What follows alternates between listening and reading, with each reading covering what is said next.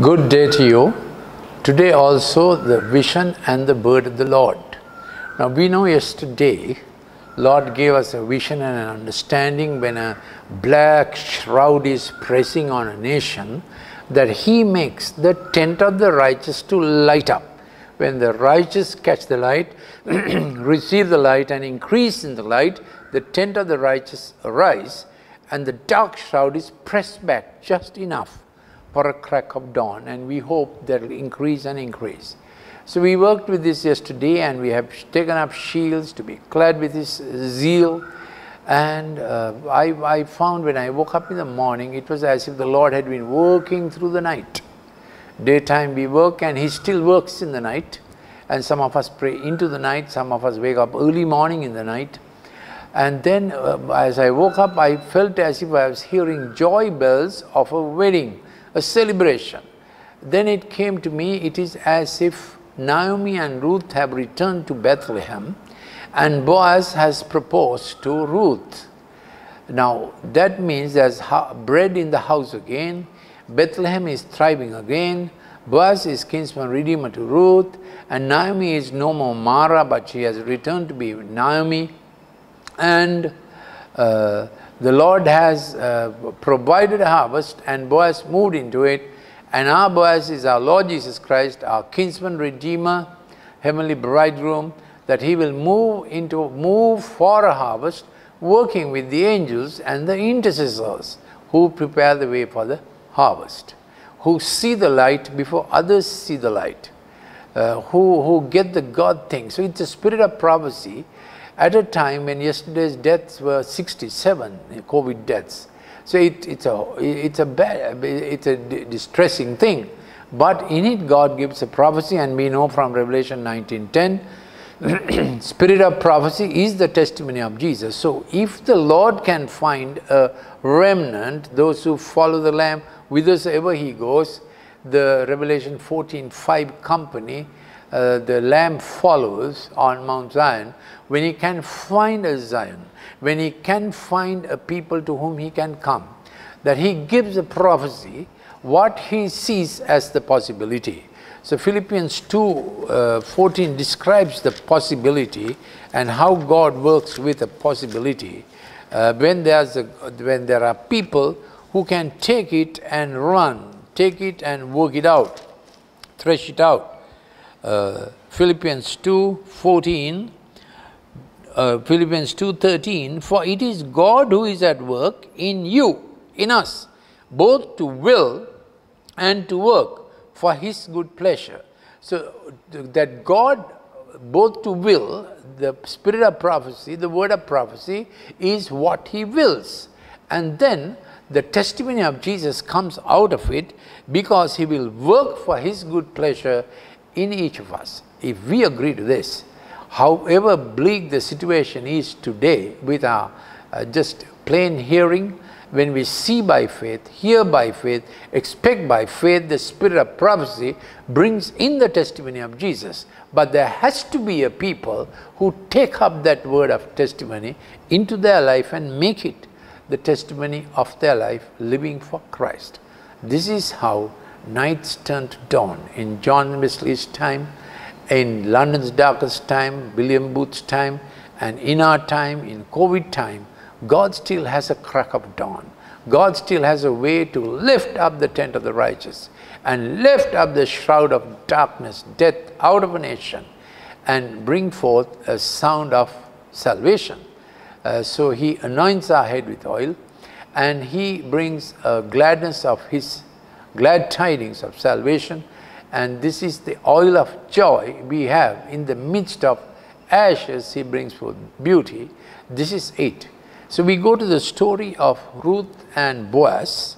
And we know the beginning is very tragic. Elimelech a well-placed man reasonably wealthy man wealthy enough to gather up everything go seek a future in another country.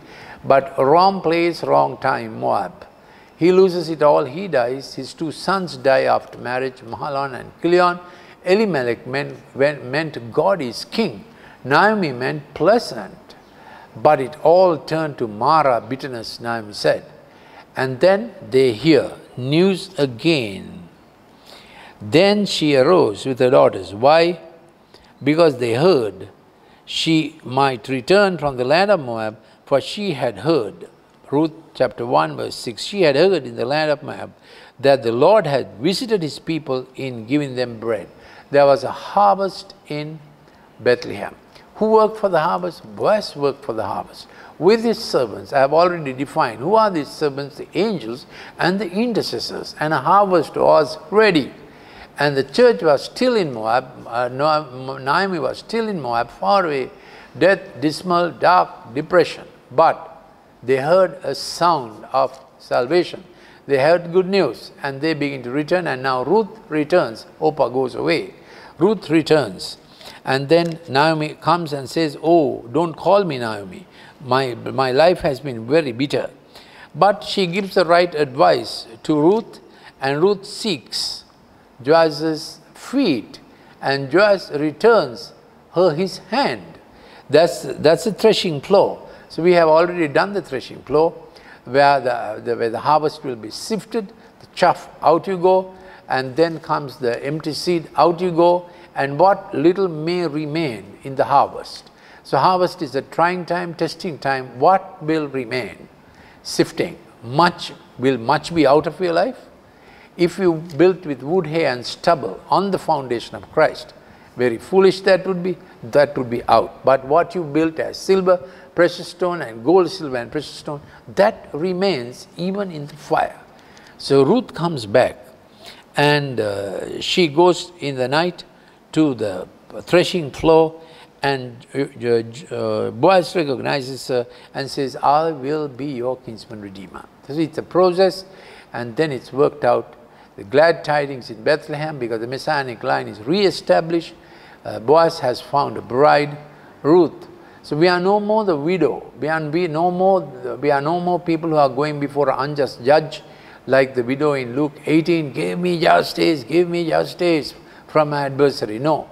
We go to our Father in heaven with an expectation of a promise, expectation of what He wills and what He desires in us. So heaven's intention meets with our desire and a new day is born. A man-child is born, we learned it yesterday, who will rule the nation with rod of iron. So daily we take this birth process that uh, what God's intention is born, God's scepter comes, we work with his shields and with his scepter, and his staff provides for us. This is the mandate. Uh, so, uh, Ruth is, uh, uh Boaz becomes the kinsman redeemer who redeems Ruth and all that was lost. This is the time we are looking for the harvest God has prepared.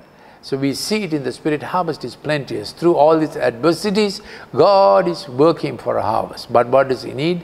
He needs a prior harvest force who's seeing with him, agreeing with his spirit of prophecy and the testimony of Jesus to be to come out. Revelation 19:10, spirit of prophecy is the testimony of Jesus. This is where we are. And there was great joy in Bethlehem that Boaz found a wife who will keep the re redemption line. And this is how uh, the prophecies go. Uh, so the closest relative said, then Boaz said to the elders, You are witnesses that today I have redeemed the inheritance of Naomi. All the people who were in the court and the elders, we are witnesses. May the Lord make your woman, make the woman who is coming into your house like Rachel and Leah, both of whom build the house of Israel. and may you achieve wealth in Ephrathah and become famous in Bethlehem. This is God's prophecy for us also that the house of God will be built and new offspring will come as the harvest of God. And then we go to Isaiah 54 to capture this birth scene again. Babies coming, progeny coming. Isaiah 54. Take it as your scripture for today and encouragement. Isaiah 54.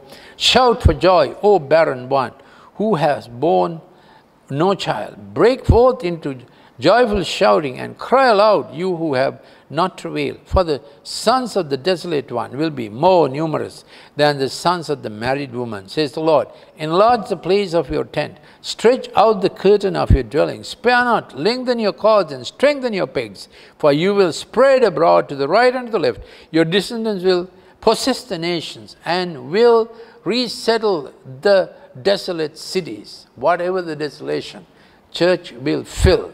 Fear not, for you will now be put to you will not be put to shame. And do not feel humiliated, you will not be disgraced, but you will forget the shame of your youth and the reproach of your widowhood you will remember no more.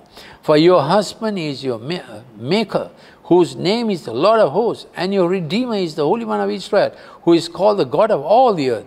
For the Lord has called you like a wife forsaken and grieved in spirit, even like a wife of one's youth when she is rejected, says your God. For a brief moment I forsook you, but with your great compassion I will gather you.